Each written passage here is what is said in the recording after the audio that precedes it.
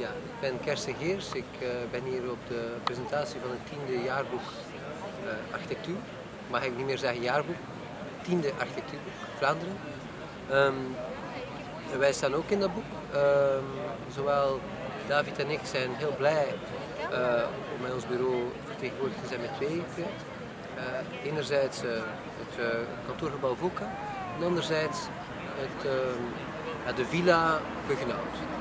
Villa Bruggenhout is een heel uh, eenvoudig project. Um, het is in feite wat ons betreft een beetje een reflectie over op welke manier je vandaag de dag op een uh, Vlaams kavel zou kunnen bouwen.